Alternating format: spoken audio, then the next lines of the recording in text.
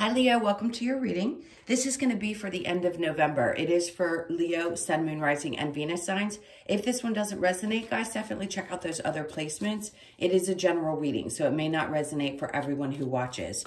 So we're going to get into your recent past, your current energy, as well as the near future. And then we'll take a peek at your person's energy and your energy and see what's going on there. So if you are returning, welcome back. If you are new, welcome. I hope you'll stay. I am available for personal readings. That info's in the description box below the um, video or in my About section on my channel. All right, so let's see what's going on. We got the Knight of Pentacles that flew out in the reverse. So you may feel like something's at a standstill right now. This could be about your career, where you feel like you're kind of stuck. Maybe it doesn't seem like it's going to be going up or down, or maybe even money it just seems to be stable, but not necessarily going in either direction. So let's see what else comes out for you. All right, one more cut. So this is the recent past. And then we have the Queen of Wands in reverse, which could be creating a little bit of stress. It seems to be throwing you a little bit off your game. Maybe you just have some questions about worth, maybe at times your thought process goes into, can I actually do this? And it's creating a lot of, or did create a lot of stress in the recent past. so I think Spirit's going to want you to focus on not thinking about the things that went wrong in the past, but focusing on how you can change, uh, taking what you've learned. And basically, yeah, because there's your card, the sun card. When you realize what truly makes you happy, it opens up the doors. It relaxes you into the energy and allows you to focus on what really makes you happy versus what's going to be the most successful.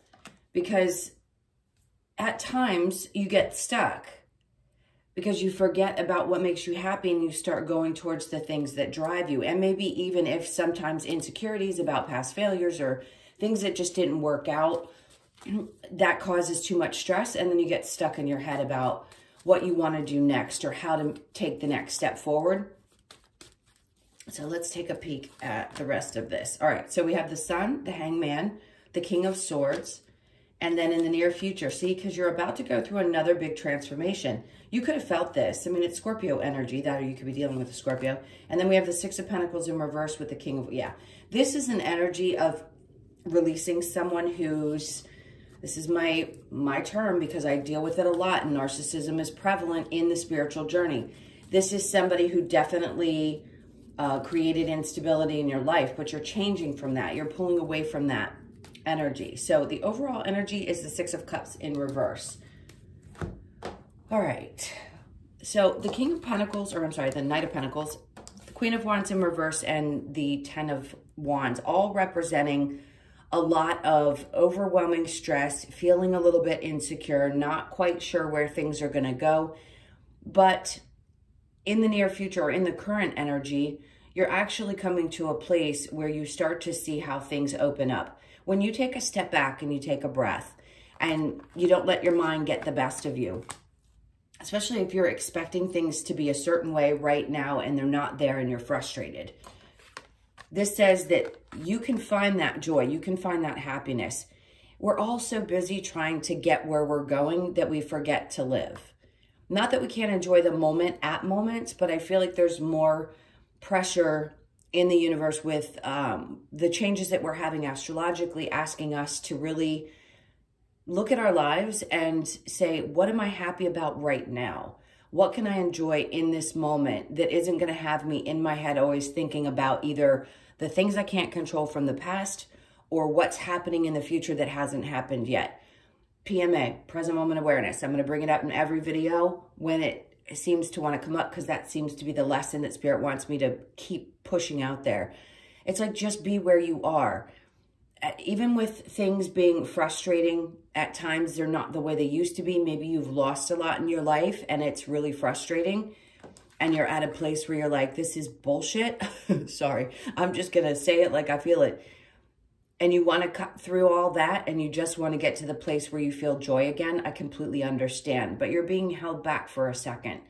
So that you can recognize that no, things aren't perfect. Yes, we've all had failures and it doesn't mean that you yourself are. It just is a part of your spiritual journey. It's a part of your growth. And yes, growing pains are called growing pains for a reason. It doesn't matter how old you are. We always continue to learn. I know that sounds like repetitive, but it seems like Spirit's trying to get your attention and ask you to really focus on being okay with you where you are because this is creating way too much stress for you. So we'll clarify all of this in just a moment. Now, in the near future, big transformations. This is a shift. I feel like you're shedding kind of an old version of yourself and you're getting into a mode where you realize you can't constantly. A lot of people who watch me will, will say this about every sign.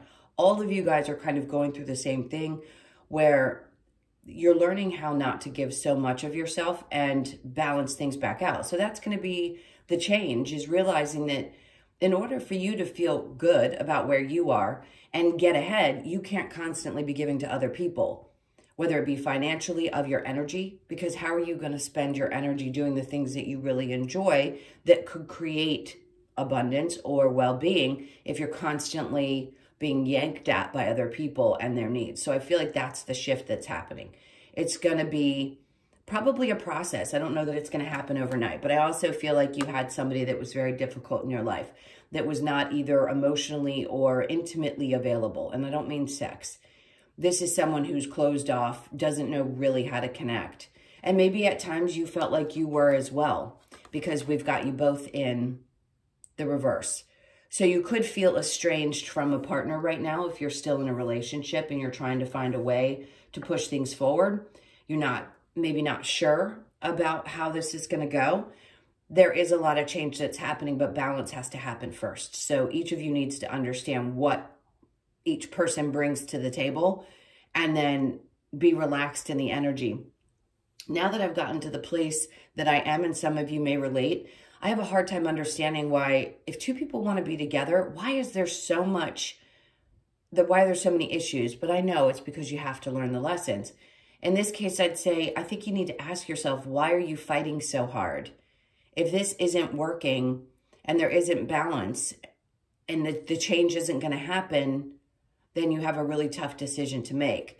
Now, the stress is not worth it. For some of you, it could be other reasons why you stay, but I just feel like the clarity is coming to you. And if you don't follow through with that, you could find yourself really stuck. But in the current energy, it looks good. So I'm not going to say that you're going to stay there. I think you're really going to go through the change. All right, let's go ahead and clarify. The Knight of Pentacles with the Queen of Wands in reverse. I just feel like you, I, feel a sense of, I feel held back. And then we have the Seven of Cups. Like you don't have options. Maybe that's the thing, is that you feel like you can't get out of a situation because you don't have other options. We always have other options. Sometimes if we quiet our minds, we can hear those options. When we're so stressed out and we're constantly in our head or all we're doing is reviving, reviving or reliving all of the things that we had already experienced, it blocks out those messages that Spirit's trying to get us to see. See, and then the Wheel of Fortune comes through.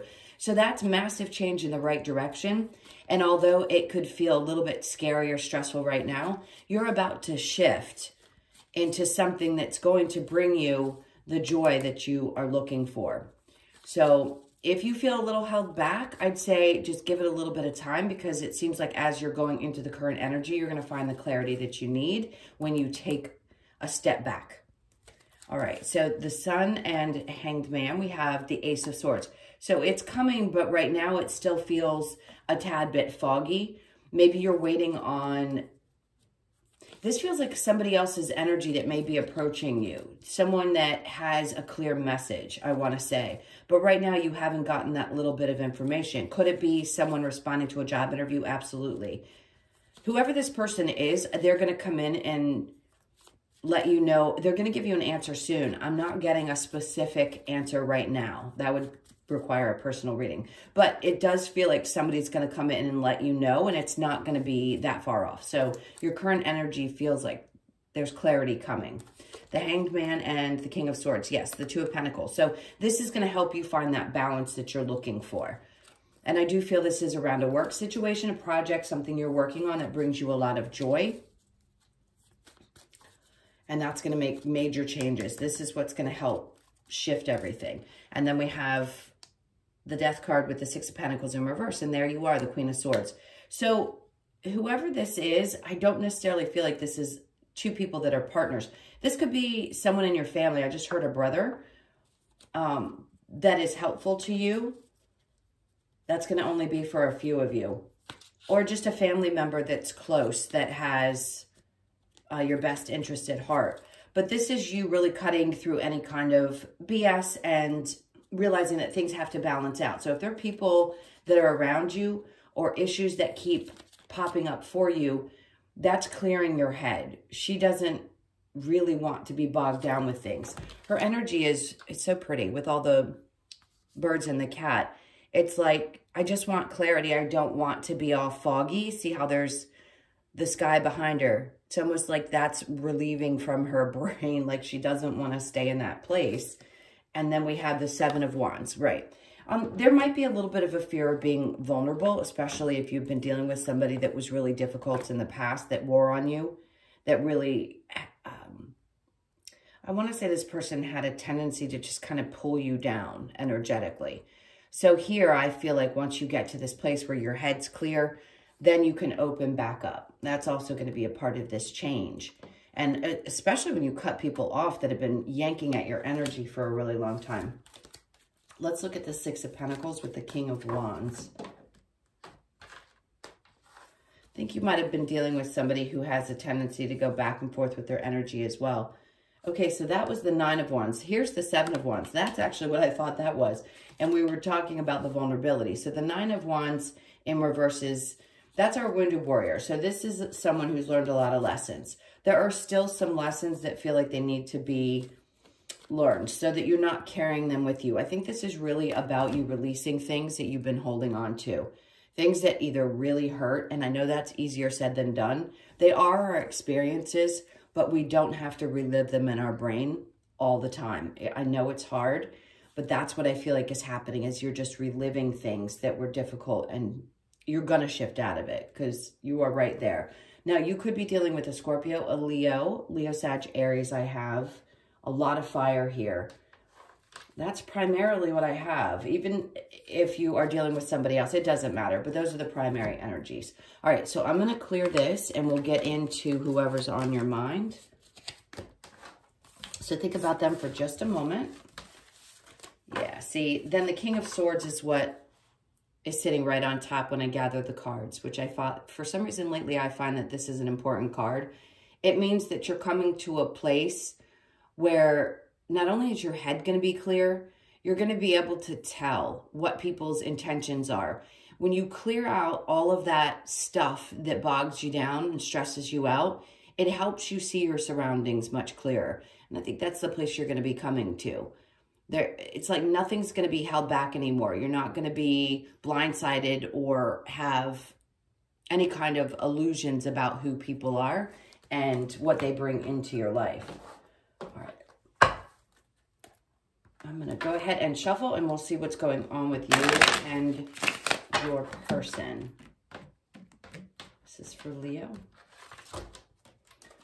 All right, so we have the Page of Swords. There's somebody who's definitely keeping an eye on you. If you have a sense that this person watches you often, um, whether you're with them or not, they do. The Four Cups, it's like there's a part of them that just doesn't trust. I want to say that. This person has trust issues. The King of Pentacles in reverse and the Nine of Wands. Yeah, they're still carrying a lot of things from the past that they can't let go of. And for you, oof, okay. It looks like at some point you were done.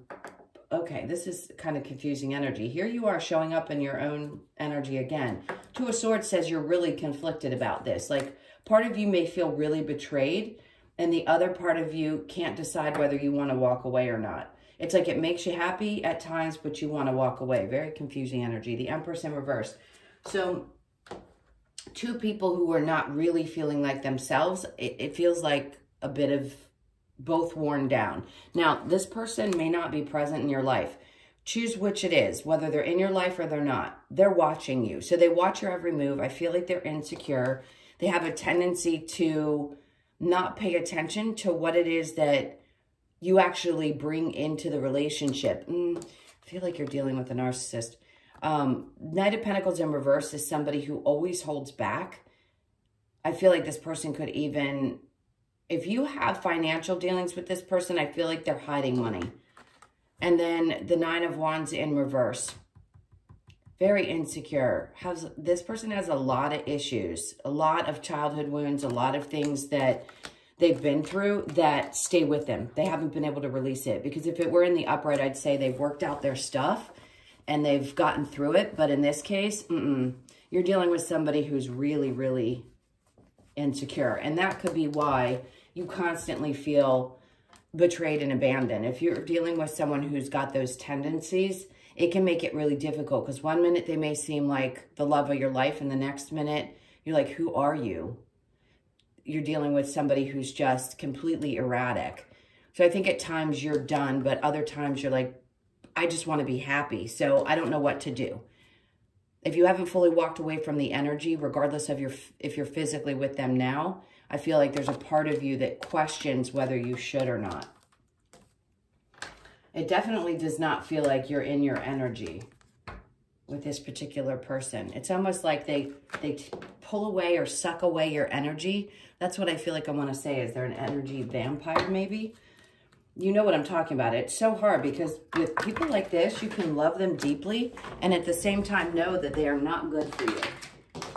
All right, hold on, sorry. Cards flipped out. All right, I'm going to take the ones that flew out. So it says true love. There's a, this is the romance of a lifetime. You may feel like that with this person, but it may be, unfortunately, a little bit of an illusion. Um, make the effort. Great love is worth taking the steps that you are guided to take, honeymoon and retreat.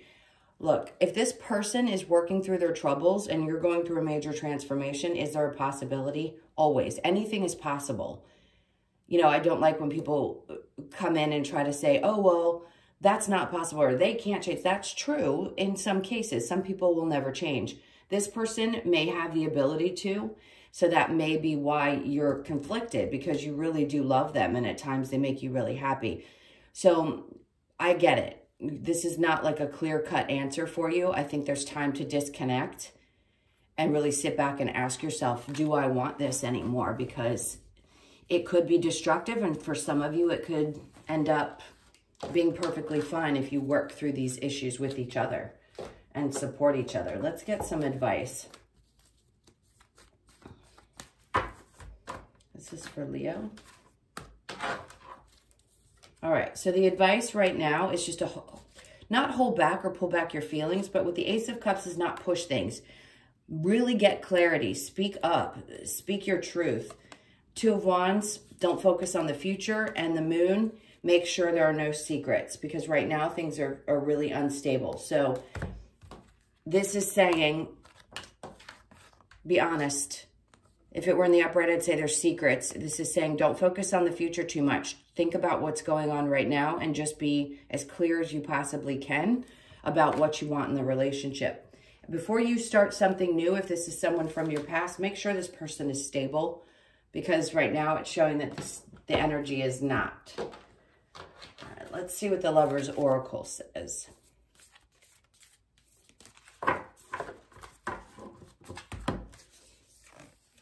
So we have, it is important right now to take a step back and spend time, some time alone. Yeah, this is what I was saying. Instead of placing your focus on another, now is the time to give to yourself. Perfect message. Beware of what you are projecting for the qualities you admire in one another or qualities you both possess. Equally so, the qualities you don't like are also your own reflection. Yes, and I don't mean with an abusive partner. Okay, and then we have give thanks for the blessings of love soon to come your way. Know that you deserve to be and have all that your heart truly desires.